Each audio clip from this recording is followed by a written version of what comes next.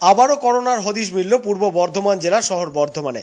পূর্ব বর্ধমান জেলার উদয়পল্লীতে শুক্রবার দিল্লি থেকে আসা এক পরিবারের তিনজনের মধ্যে প্রায় এক বছরের কাছাকাছি বাচ্চাটি করোনা রিপোর্ট পজিটিভ বলে জানালেন জেলা শাসক বিজয় ভারতী। ওই বাচ্চার মায়ের রিপোর্ট যদিও নেগেটিভ, তবে বাবার রিপোর্ট এখনও আসেনি। ওই বাচ্চার বাবা এখন কেমব্রি হসপিটালে ভর্তি রয়েছেন। এখনও পর্যন্ত এই জেলায় আক্রান্তের সংখ্যা ছিল নজন, যার মধ্যে দুজন কলকাতায় থাকে বলে জানালেন জেলা শাসক। শুক্রবার এই জেলার উদয়পল্লীতে বাচ্চার করোনা পজিটিভ আসায় তড়িঘড়ি এলাকাকে সিল করার পাশাপাশি কন্টেনমেন্ট জোন ঘোষণা করা হয়। জেলাশাসক আরও জানান, বর্ধমানে উদয়পল্লী, বেলকাশ এক গ্রাম পঞ্চায়েতের অধীনে।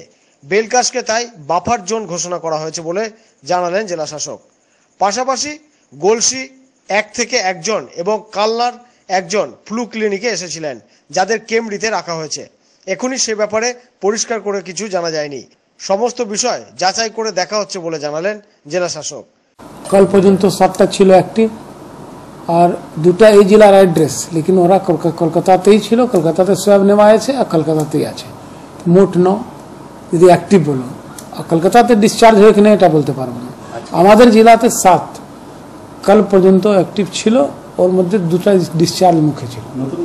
নতুন করে আজকে একটা বেরিয়েছে ওটা এ, উদয়পল্লী বেলকাস গ্রাম পঞ্চায়েত বর্ধমান ওয়ান ডেভেলপমেন্ট ব্লকে ಅಂದರೆ ওই যে বেলকাস তো অ্যাকর্ডিংলি এক ছোট এক ফ্যামিলিতে তিন লোক কলকাতা থেকে এসে দিল্লি থেকে এসেছিল তার মধ্যে এক বাচ্চা আছে এক বছর থেকে কম প্রায় এক বছর কাছাকাছি ওই পজিটিভ বেরিয়েছে আজকে টেস্টে ওর মা নেগেটিভ বেরিয়েছে আর ওর বাবা যে আছে ওকে আমরা রেখেছি এখানে যে আমাদের ক্যামরি হসপিটালকে নিয়েছি যখন পর্যন্ত টেস্ট রেজাল্ট না আসবে ওখানে থাকবে কন্টেনমেন্ট অর্ডার আছে যাকে উদয়পল্লী के संगे संगे उदयपल्ली अंडर बेलकस ग्राम पंचायत ও ও ভিলেজকে মানে উদয়পল্লী যে পাড়া আছে পাড়াকে কন্টেনমেন্ট জোন ডিক্লেয়ার করেছি স্ট্রিক্ট কমপ্লায়েন্স জন্য ওটা মোস্ট এফেক্টেড এরিয়া আর ওই গোটা গ্রাম পঞ্চায়েতকে আমরা বেলকাস গ্রাম পঞ্চায়েত বড় গ্রাম পঞ্চায়েত ওটাকে বাফার জোন ডিক্লেয়ার করেছি ওর নোটিফিকেশন হয়ে গেছে ওয়েবসাইটে লোডও করে দিয়েছি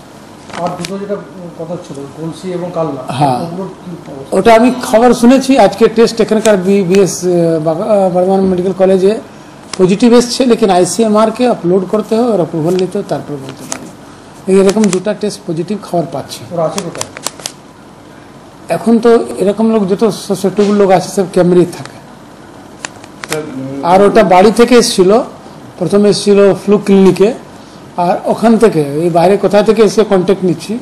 ও- ওই আজকেই এসেছিল ফ্লু ক্লিনিক থেকে ওকে ক্যামেরি পাঠানো হয়েছে। ক্যামেরি থেকে ওকে সব নেওয়া হয়েছে। তারপরে রেজাল্ট আজকে এসছে। সেদিন ও বাড়িতে নাই। যেহেতু অলরেডি ফ্লু ক্লিনিকেও আগে এসছে। পরিযায়ী?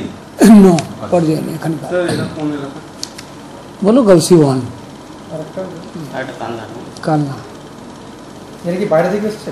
ওটাই তো কনফার্ম করছি। ওটা তো এখানে ফ্লু ক্লিনিকে এসেছিল। বুঝব কি করে? কন্ট্যাক্ট ট্রেসিং হচ্ছে। সিএমএইচ কন্ট্যাক্ট কার কার কন্ট্যাক্টে ছিল ট্রেভেল হিস্ট্রি কি ছিল, সব নিচ্ছে। হ্যাঁ মূলত এক্সেপ্টেড না, বাইরে থেকে নেই, কলকাতা থেকে দুটা। না, কলকাতা মানে রাজ্য থেকেও এসছে, চেন্নাই থেকে, দিল্লি থেকে, আর মহারাষ্ট্র থেকে ম্যাক্সিমাম এর মধ্যে ব্যুরো নিউজ আনন্দ বার্তা